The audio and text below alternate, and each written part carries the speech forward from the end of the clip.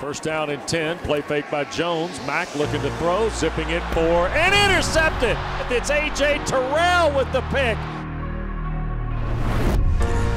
And Ollison behind it. Qadree to carry, and he will burrow into the end zone for the Atlanta touchdown.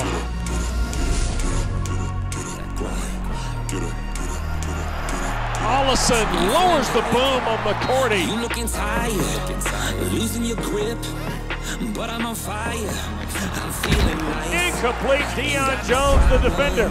I got it on Jones looking for help. He's going to be sacked. And coming on the blitz was Darren Hall, the rookie from San Diego State.